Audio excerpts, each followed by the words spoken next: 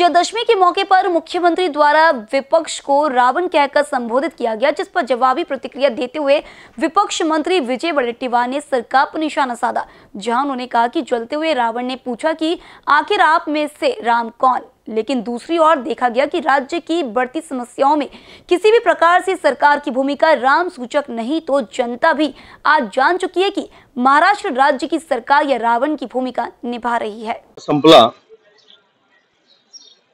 आणि जळणाऱ्या रावणाने विचारलं मला जाळताय पण तुम्ही जाळणाऱ्यातून राम कोण? तर याचं उत्तर कदाचित एकनाथ शिंदेनी दिलं तर बरं होईल. दुसऱ्याला रावण म्हणण्यापूर्वी जळणाऱ्या रावणाने विचारलं की मला जाळताय ठीक आहे पण तुम्ही तुमच्यातला राम कोण? दिसतो का कुठे राम?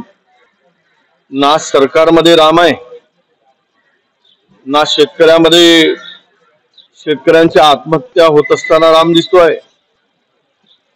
ना आपसामध्ये धर्माधर्मामध्ये तेढ निर्माण करून निष्पाप लोकांचा बळी जाताना राम दिसत नाही. सदाचारी राम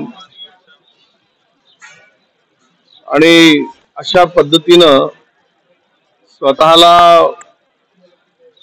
रामाच्या भूमिकेत दाखवायचा मुख्यमंत्र्याचा प्रयत्न असेल तर महाराष्ट्रातील जनतेने त्यांना केव्हाच रावणाच्या भूमिकेमध्ये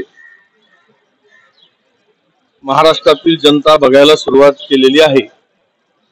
उसी अनुरूप आरक्षण के मुद्दे पर राज्य की सियासत में तूफ़ान आ चुका है जिस पर प्रतिक्रिया देते हुए विपक्ष मंत्री विजय वडेट्टीवार ने सरकार पर आरक्षण की समय अवधि स्वयं स्वार्थ के लिए बढ़ाने का आरोप लगाया है जहाँ उन्होंने कहा कि सरकार ने तेलंगाना का बहाना बनाकर आरक्षण की तारीख में दो महीनों का विलंब किया है। आता ते आरक्षणाची मुदत संपली.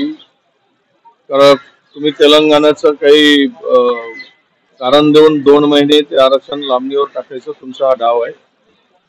तुम्ही दिलेल्या मदतीत मराठा समाजाला आरक्षण हवं होतं. काय शब्द दिला कुठला शब्द दिला कशा पद्धतीनं आरक्षण देणार होते त्याला कशा पद्धतीनं तुम्ही मराठा समाजाचा आरक्षणाचा गुंता सोडणार होता. तुम्ही दिलेला शब्द मदतीत पूर्ण करायला पाहिजे होता. परंतु सरकारला यातून पळवाटा काढण्यासाठी नवीन संधी शोधत असताना ही एक संधी आहे असं कदाचित त्यांना वाटत असावं. मुंबईचा हिरे हिरे कैमरा पर्सन राजकुमार मोहड़ के साथ मनीष टेमरे बीसीएन न्यूज नागपुर.